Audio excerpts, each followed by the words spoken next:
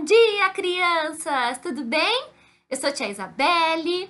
Quem tá feliz que hoje é domingo? Quem tá com saudade da escola dominical, da gente ver os amigos, da gente brincar, da gente contar história, fazer atividade? É, faz muita falta a gente ficar longe, né? Mas logo, logo isso vai acabar. E, e, ficar em casa também com nossos pais é muito bom. A gente pode também fazer atividade em casa, a gente pode ver os vídeos das histórias também na internet. E agora a gente vai contar uma história, a gente vai fazer atividade também mesmo de longe, tá bom? Logo, logo tudo isso vai passar.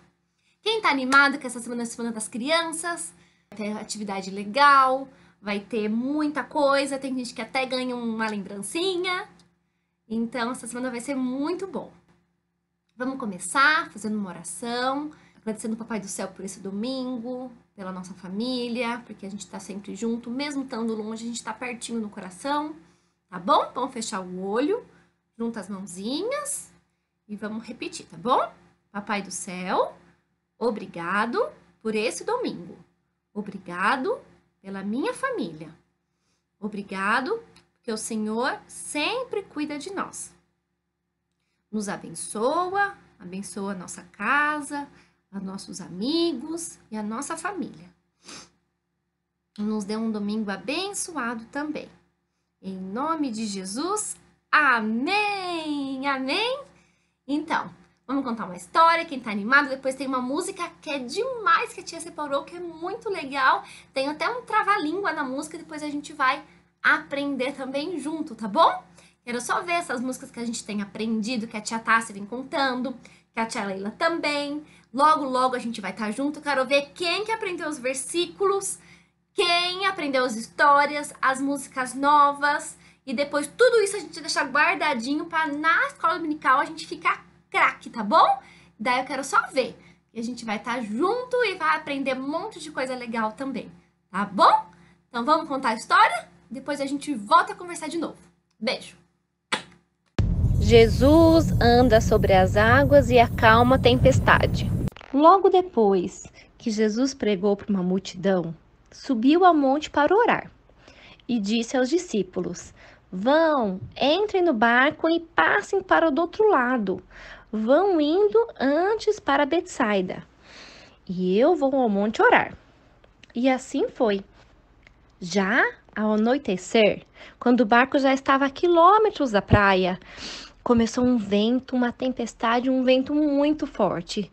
E o barco começou a balançar, a balançar, e o vento soprava que chacoalhava muito o barco. E os discípulos começaram a ficar com medo, um medo do que podia acontecer. Mas, já de madrugada, Jesus foi ao encontro deles e Jesus foi andando sobre as águas. Nisso, eles olharam Jesus vindo sobre as águas e ficaram assustados e falaram: É um fantasma! Jesus falou: Coragem, sou eu! Não tenha medo! Mas eles, no escuro, não conseguiam enxergar nada e vinham Jesus vindo, mas não conseguiam ver que era Jesus. E Pedro gritou: Jesus, se é o Senhor, diga para eu ir até onde tu estás, andando sobre as águas também. E Jesus disse a Pedro: Venha, venha, venha até mim. Então Pedro saiu do barco e foi andando sobre as águas em direção a Jesus. E Pedro começou a andar sobre as águas também, assim como Jesus. Porém, quando Pedro sentiu o vento forte balançando, começou a ficar com medo e duvidou. E sabe o que aconteceu? Pedro começou a afundar, começou a afundar, gritou: Senhor, salve-me, me salva, Jesus! E aí, na mesma hora, Jesus agarrou a sua mão e segurou, e não deixou ele afundar. E falou assim: Homem de pequena fé, por que você duvidou? E Pedro, no coração, tinha duvidado, ficou com medo e afundou. Ai, mas que bom que Jesus estava lá. E Jesus salvou Pedro. E na mesma hora, eles voltaram juntos e subiram no barco. Daí Jesus entrou no barco e aquietou a tempestade, mandou a tempestade parar, mandou os ventos se aquietarem e o barco se acalmou. Então, os que estavam no barco adoraram Jesus e falou: "Verdadeiramente o Senhor é o filho de Deus. O Senhor acalmou a tempestade, andou sobre as águas. Tu só pode ser os filhos de Deus." E adoraram a Jesus. Olha como Jesus é maravilhoso. Ele acalmou a tempestade, andou sobre as águas e também salvou Pedro. Essa é a história de hoje.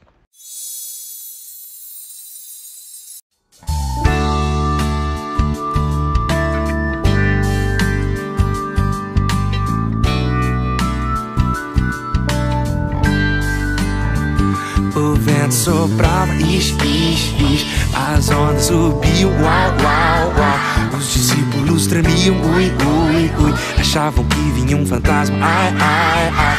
Mas era Jesus, ó, ó, ó. Andando sobre as águas, uai, uai, uai. Pedro também quis andar, ei, ei, ei. Caminhou sobre o mar, bravo, bravo, bravo. Mas Pedro teve medo, af, af, af. Começou a afundar, socorro. Mas Jesus segurou, uf, uf, uf. E pro barco o levou, viva, viva, viva Se estou com Cristo, para de ai, ai Opa, oba, ah Não vivo mais com medo, aprendi a confiar Opa, oba, ah Se estou com Cristo, para de ai, ai Opa, oba, ah não vivo mais com medo, aprendi a confiar. O vento soprava, ix, ix, ix. As ondas subiam, uau, uau, uau. Os discípulos tremiam, ui, ui, ui. Achavam que vinha um fantasma, ai, ai, ai. Mas era Jesus, ó, ó, ó. Andando sobre as águas, uai, uai, uai. Pedro também quis andar, eita, eita, eita. Caminhou sobre o mar, bravo, bravo, bravo. Mas Pedro teve medo, af, af, af. Começou a afundar, socorro. Mas Jesus segurou, ufa, ufa, ufa. E pro barco o levou,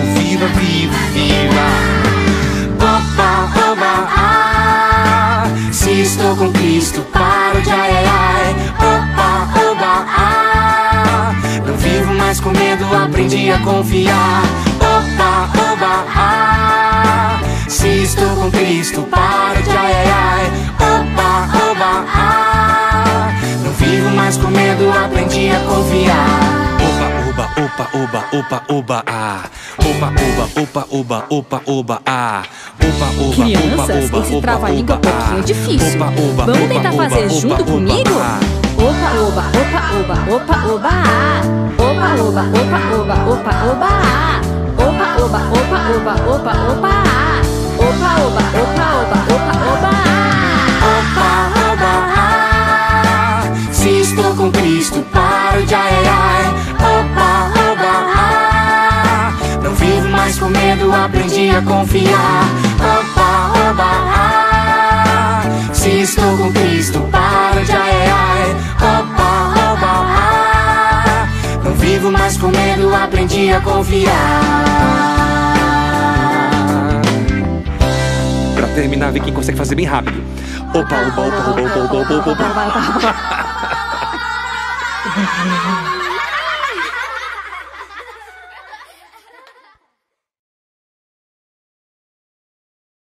E aí, crianças, gostaram da história?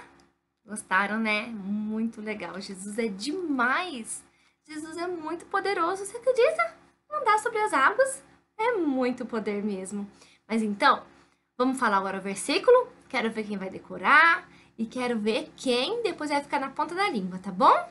Mateus 14, 33.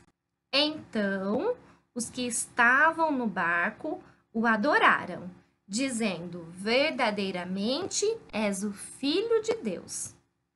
Tá bom? Vamos falar de novo?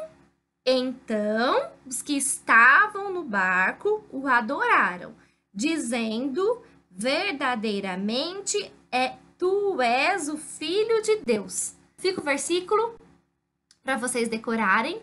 Até domingo que vem, com uma outra tia aqui, pra gente ficar animado e a gente vai aquecendo o coração para logo, logo a gente estar tá junto, todo mundo, tá bom?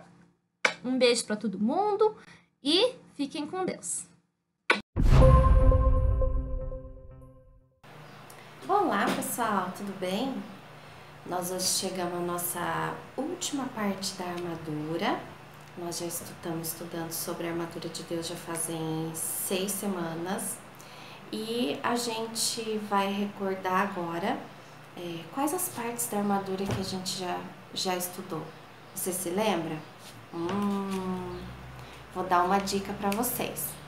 Vamos cantar a música que a gente aprendeu sobre a armadura de Deus? Daí a gente vai se lembrar.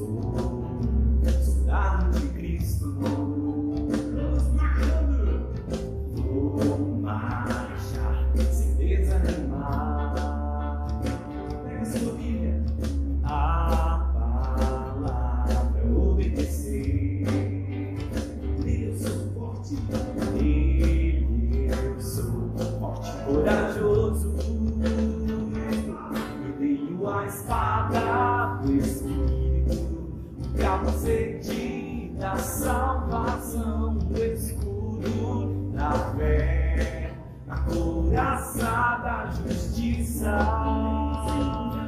Eu tenho o cinturão da verdade.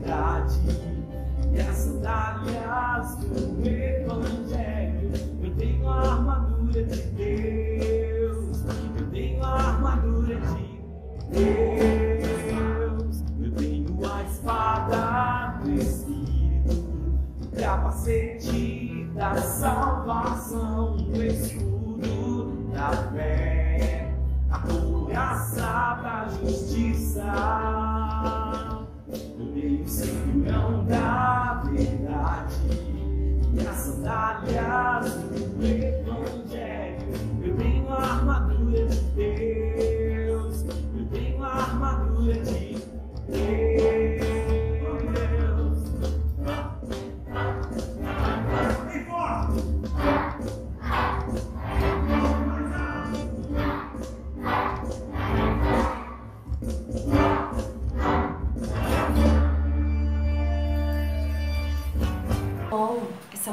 muito legal, né, a gente aprender. Ela fala exatamente sobre as, todas as partes da armadura. Ela fala sobre o cinturão da verdade, a couraça da justiça, as sandálias do evangelho da paz, o capacete da salvação e o escudo da fé. E hoje nós vamos falar sobre a última parte, que é a espada do espírito. Quando a gente fala em uma espada, é, a gente pode pensar que todas aquelas, todas aquelas partes da armadura que nós vimos até hoje, elas eram usadas, a gente, o soldado tinha que vestir elas, né? Então ele calçava sandálias, ele vestia a couraça, o cinto, é, o escudo. Então todos eles ficavam presos no corpo. A única parte que não era para defesa, mas sim para o ataque, era a espada. E essa espada, os soldados cuidavam com muito carinho. Eles afiavam sempre ela, deixavam ela sempre bem afiada, para que quando eles fossem atacar o inimigo, ela tivesse pronta para que fosse usada. Por que será que Paulo é, comparou a palavra de Deus com a espada. Isso que a gente vai aprender hoje. A espada, ela, quando a gente corta alguma coisa, eu vou fazer um, um, uma, um teste aqui com você. Tenho aqui um tomate e tenho aqui uma faca e eu vou cortar esse tomate, ó. Cortei tomate. Quando a gente corta alguma coisa ao meio, é, a gente consegue ver exatamente o que tem dentro, não é verdade?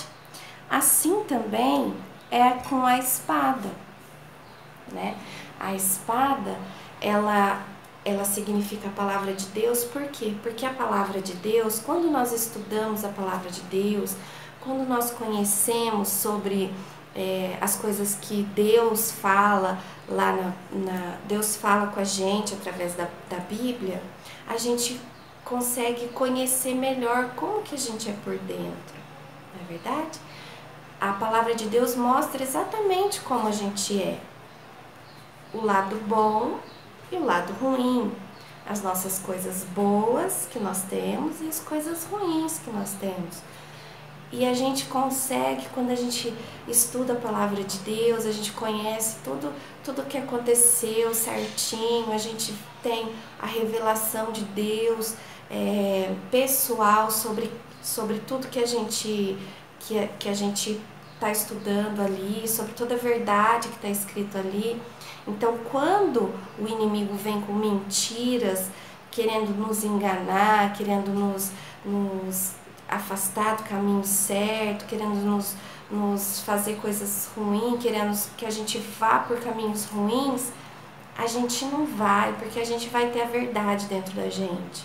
A gente vai conhecer a nossa espada aqui do Espírito, ó, vai estar tá afiada para a gente atacar o inimigo e falar para ele: olha, aqui você não tem vez porque aqui eu, eu tenho a espada do Espírito e eu vou mostrar para você a verdadeira, o que eu sou em Jesus.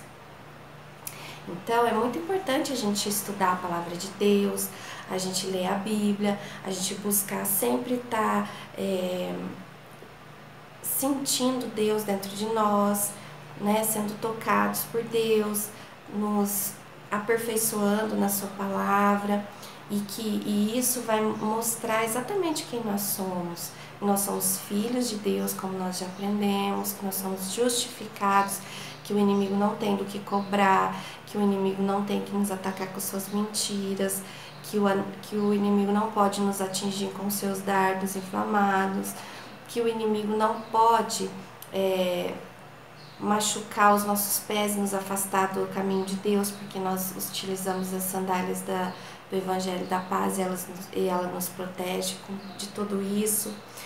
Então, a palavra de Deus ela é muito importante e ela é importante para que toda a armadura de Deus esteja firme em nós.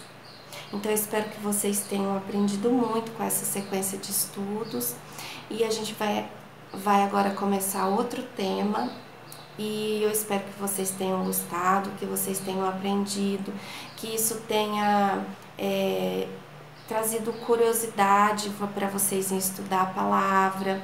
É, você que é papai, você que é mamãe, é, o compromisso que você fez com, com Deus lá quando você batizou seu filho, que você ia ler com ele a palavra, que você orar com ele. E eu tô falando para você também que é criança, o papai fez um compromisso quando você foi batizado, de orar com você, de estudar com você. Então cobra dele, viu?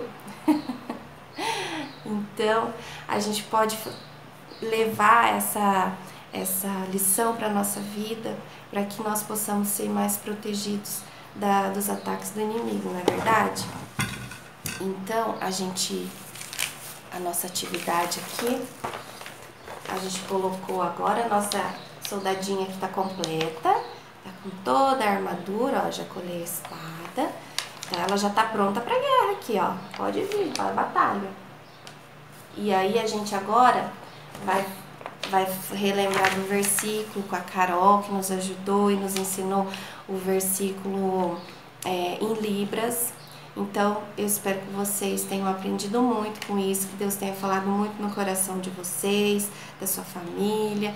Espero que isso tenha é, aguçado vocês para que vocês estudem mais a, Bíblia, para que vocês conheçam mais sobre Deus, que é o mais importante disso tudo, não é verdade?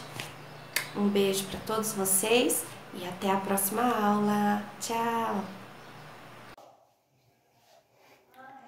Efésios, capítulo 6, versículos do 14 até o 18.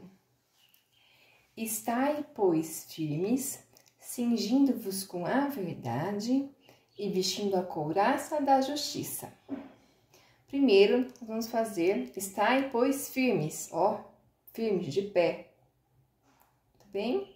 Depois, o cinto aqui, ó, da armadura, não é? E a couraça, ó, da justiça.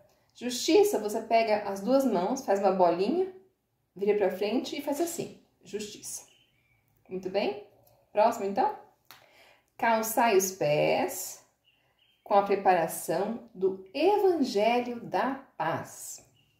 Então você vai calçar um sapato na mão aqui, ó, até aqui, porque antigamente eram sandálias grandes, né, que vestiam aqui. Aí, Evangelho, você a letra E, olha, assim, virou uma para outra, faz assim, uma balançadinha.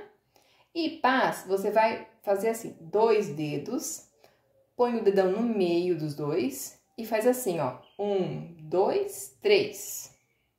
Muito bem? Próximo, então. Embraçando sempre o escudo da fé para que possa afastar todo o mal. Então, escudo, sempre primeiro, né? Dois dedinhos assim, ó, sempre. O escudo, uma bola aqui grande, né? O escudo é grande. Para fazer o fé, você vai pegar assim, ó, a sua mão, abaixar o dedo indicador e segurar. Segurou ele, tá? Aí, fé na cabeça e na mãozinha, ok? Ó, junto. Um, dois, fé. Muito bem?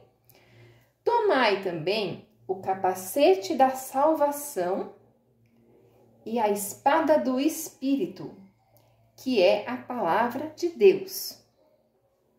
Então, você vai pegar também o capacete da salvação, salvação é assim, tá? E a espada, tirar uma espada aqui do espírito, espírito, tá? Que é a palavra, você fazer um pezinho com a mão, a palavra de Deus.